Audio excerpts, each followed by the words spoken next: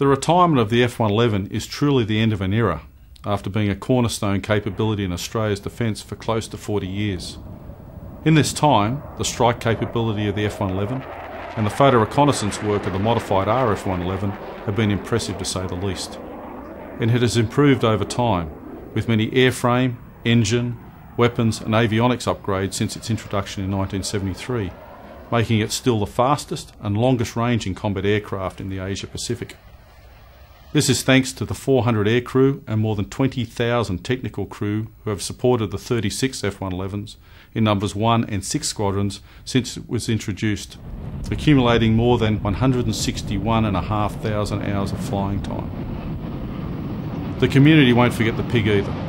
Its dump and burn capability has been a regular highlight at Brisbane's Riverfire for many years, and the locals in southeast Queensland, in particular the Ipswich community, have certainly embraced the F 111 as one of their own. While the time has arrived for the F 111 to move on, there will always be a place in Australia's heart for this remarkable aircraft.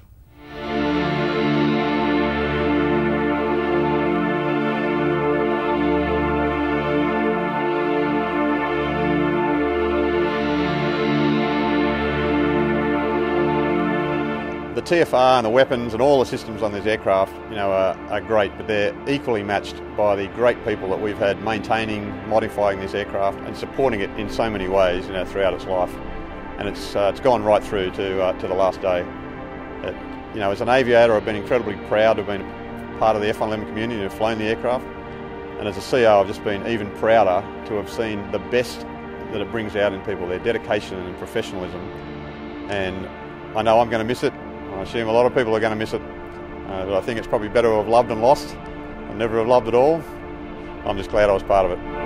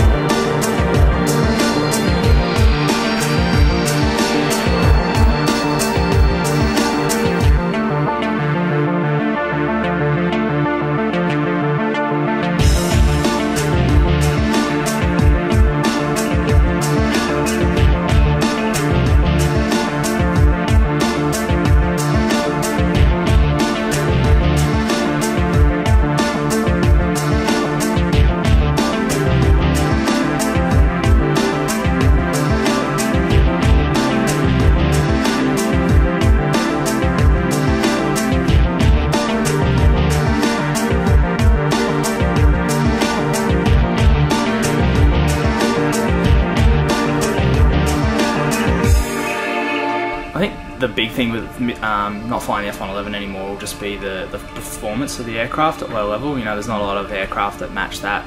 Being able to sweep the wings back and go, uh, you know, Mach 1.3 at low level uh, is pretty crazy. So that's probably the, the biggest thing I reckon I'll miss. Flying low level, um, high speed. You know, we won't won't get to do much of that in the future. So nowadays we uh, smash around basically everywhere, uh, down low level, as, as quick as we can.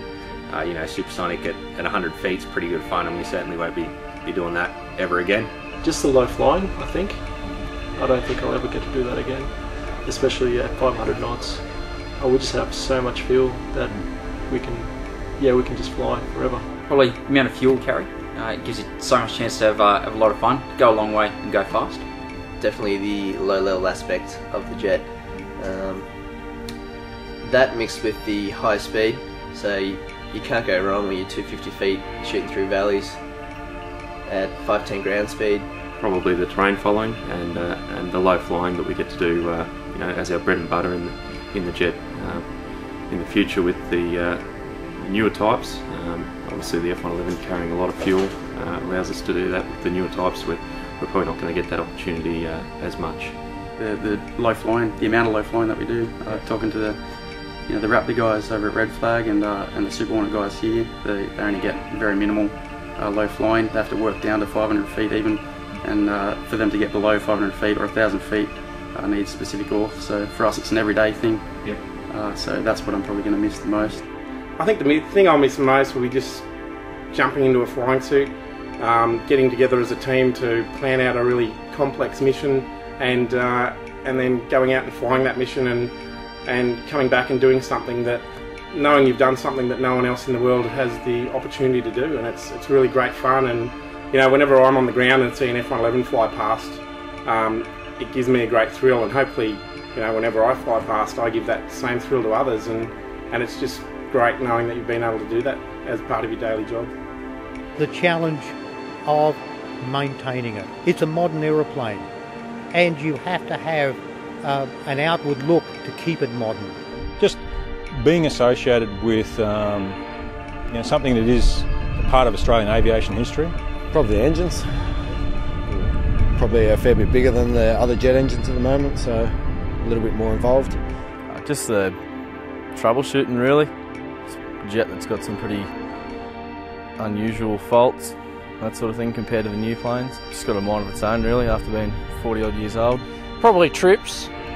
You know, it's uh, trips are when the squadron comes together. I think the thing I'm going to miss the most now that we've done the last flight in this aircraft is knowing that I'm never ever going to walk through that flight line door again, come out of this aircraft, start it up, operate it, never be down there low level in the weeds in an F111. Might do it in other aircraft, but the thought of not being an F111 is just incredibly sad.